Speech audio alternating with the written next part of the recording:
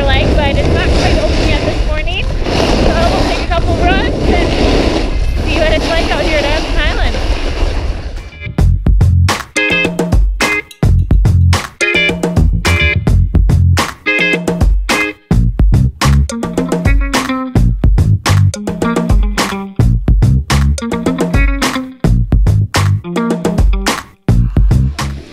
felt my pant button pop.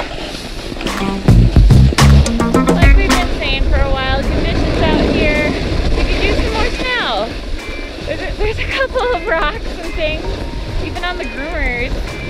And it's just that kind of year, we're just getting late snow, hopefully. Um, the bowl still isn't open, so I don't know if I'll be able to take you guys up there today. It's gonna get into the 40s today, and it's supposed to be one of the busiest days in Aspen of the year. So I'm sure we'll run into some crowds later on.